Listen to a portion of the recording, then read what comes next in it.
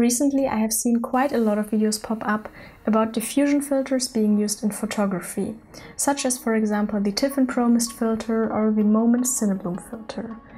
And these filters are mainly marketed towards digital photographers to kind of take away the clinical sharpness of digital images to make them appear more organic and natural looking, or some would even say to make them look more film like. So, naturally, as a film shooter myself, I was wondering if these filters would make any sense when actually shooting film. So today in this video we are going to try that out.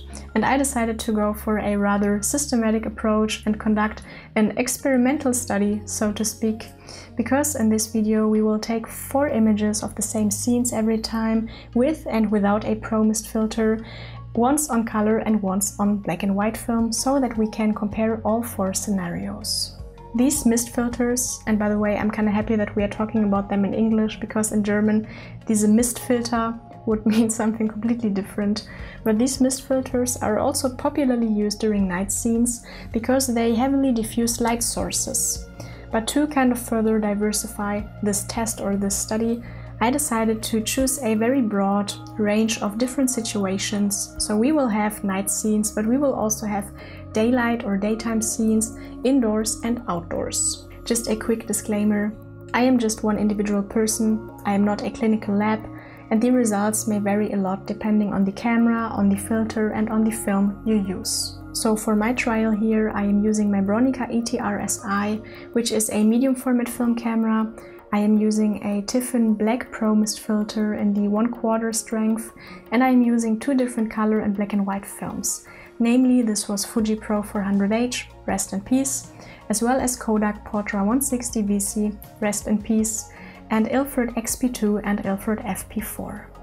And the set of images with and without the filter were always exposed in the exact same way and were scanned in with the exact same settings. So all of the differences we should be able to see should basically be because of the filter. So without any further ado, I have my laptop here and all the images scanned, so let's jump right in. To start with the daytime shots first, I took images of my infamous cactus here, which I kind of get asked about unproportionally much and I don't really know why, it's just a cactus. But you can clearly see a slightly decrease of contrast in both the black and white and the color images taken with the Pro Mist filter, and also a slightly cooler tint to the color image. The blacks appear a bit kind of lighter, but overall I would say the differences are relatively subtle.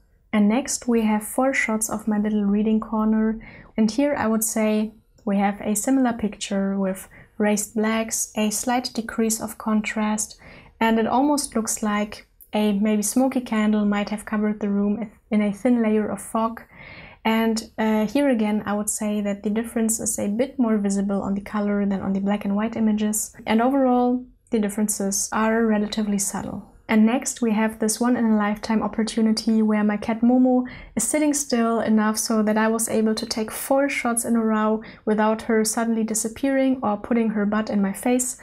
So as you can see here, we kind of have the same effect. So I think her portrait looks a bit softer and it makes the background appear a bit more creamy and hazy with the filter on, which at least I think works quite well when we have a subject in focus rather than only a plain scene, as with the prior shots.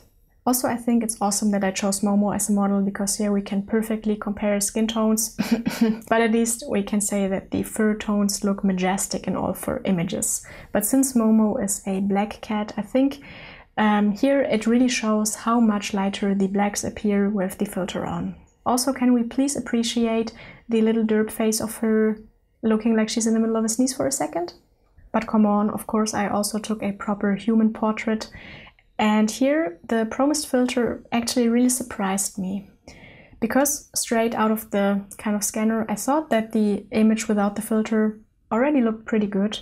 But when I saw the image with the filter, I think it looked even a tiny notch better. But what I noticed is that in the especially color image without the filter, the background appears a bit harsh in comparison to the subject. So what I think the filter does pretty well is to kind of soften out the overall tones and make for a great flow between the subject and the background. In the black and white images it looks pretty similar, but I think we also lose a little bit of the micro contrast and the range of darker tones in the shadows. And here on the images of the flowers, I think you can see that the saturation on the color also seems to be a bit decreased with the filter on. This comes down to personal preference and this, you know, kind of more muted look is something that can be achieved in the scan if you scan the image in more flat or in post-processing by adjusting the curve. But I personally kind of like the more muted tones and I think it's cool that you get this look straight out of the scanner with the filter on. And with the black and white images, I don't see a big difference here, but that might also be because the sun, the light source, was behind me and didn't really kind of affect the image too much. What most people probably associate with ProMist filters are nighttime scenes. So let's see how these filters perform during the night. Straight away, we can see that the effect is definitely more dominant during the nighttime compared to the daytime shots and we have pretty heavily washed out blacks and a more visible kind of diffused puff around the light source. The exact shape of the light source is also harder to see and especially with the pole here we can see that the shape looks a bit more flat and less three-dimensional so to speak. With this image I got super lucky because as I was in the process of taking the four shots, the owner came and pulled up in his driveway, parked his car, so this explains why there is no car in the black and white and why there is a car in the color shots, and of course he also had to open the window, so I ended up with four completely different images, but I think we can still judge the filter. In this image there are basically two things that I think are worth mentioning. For one, I think with the ProMist filter, the whole scene looks a bit more mysterious and moody, and because of the diffused light, it almost has a kind of Todd Hido vibe to it. But on the other hand, because the light is so diffused, we cannot really recognize the original shape of the light source anymore, which I think is also something very important to take into account. And talking about the shape of the light sources, I think it is even more visible in the next images where this kind of half broken, half functional street lamp caught my eye. While I think that the more diffused image has something to it, it kind of also is a bit distracting. And the images without the diffusion filter, in my opinion, look a bit more clean and a bit more minimalistic and kind of stress and show better what the point of interest in this image is, which is kind of the crack in, in the middle of the street lamp. So sometimes the glow in my opinion, can be a bit distracting and you should kind of take with care which image really needs to have this glow and which maybe is better off without.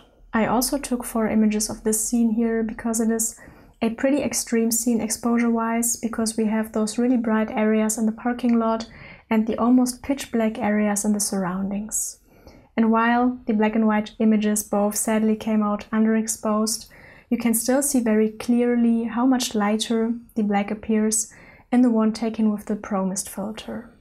And in the color images, you can see that the one with the filter has some cooler and also kind of softer cast to it.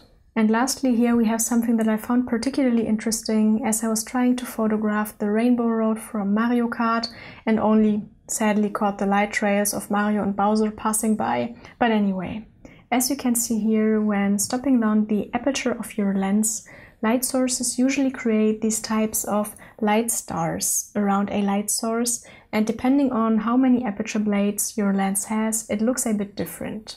And I think this is where the photography world is kind of parted into two.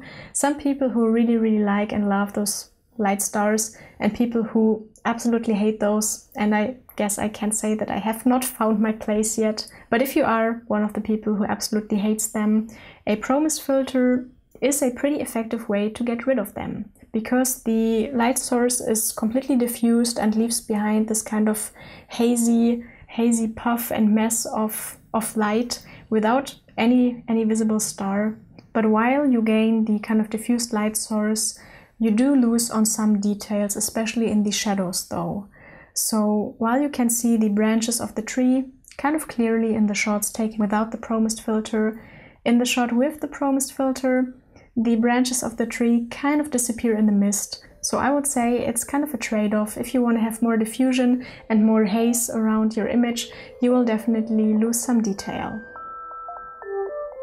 Time for a verdict. What do you think? Do mist filters actually make sense when shooting film?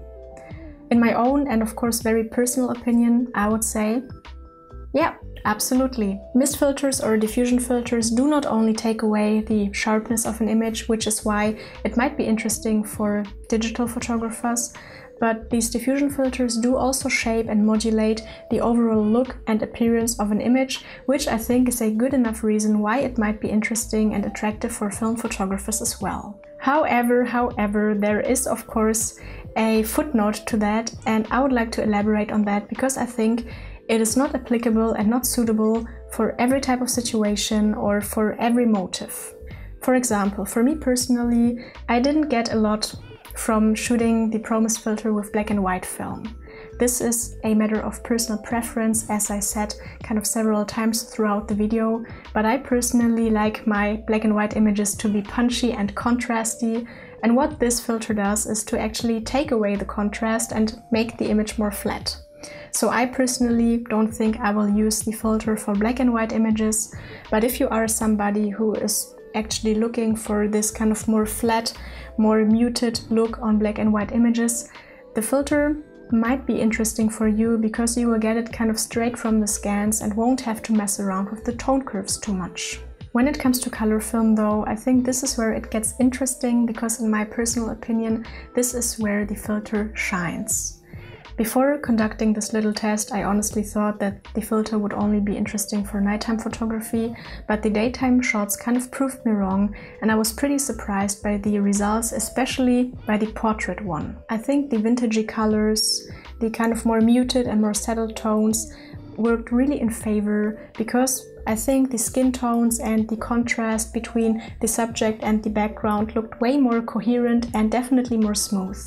Therefore, my personal verdict is that Pro Mist filters are pretty cool and pretty nifty and also something for film shooters. However, I think you should be kind of careful and selective when you use the filter and when you don't. Don't glue it on there because it simply doesn't make every picture immediately better and also you kind of get a bit tired of the look if all of the images are shot that way.